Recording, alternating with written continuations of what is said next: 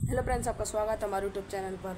आज हम आपको दिखाने वाले हैं जो कि आपने हमको गिफ्ट भेजा था, उसकी अनबॉक्सिंग करने वाले हैं आपके सामने। तो उससे पहले आप वीडियो को लाइक एंड चैनल को सब्सक्राइब और वीडियो में अंत तक बने रहना। अभी दिखाते हैं।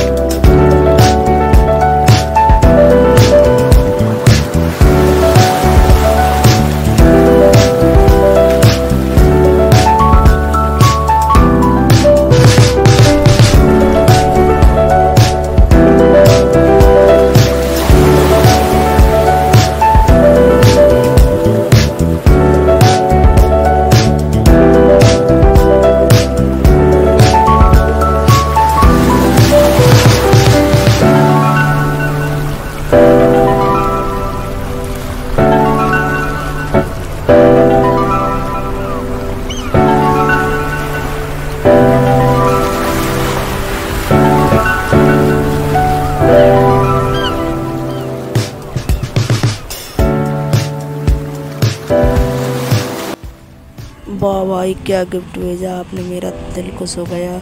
आपके लिए धन्यवाद बहुत बहुत धन्यवाद। Thank you guys